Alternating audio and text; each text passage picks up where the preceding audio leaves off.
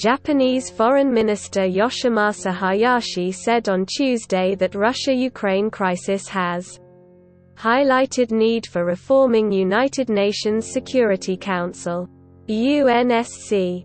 Hayashi's comment comes weeks after Russia, which is a permanent member of UNSC, vetoed a draft resolution that demanded Moscow to withdraw its troops from Ukraine. US, UK, France and China are the four other permanent members of UNSC. Subscribe to the channel for more news.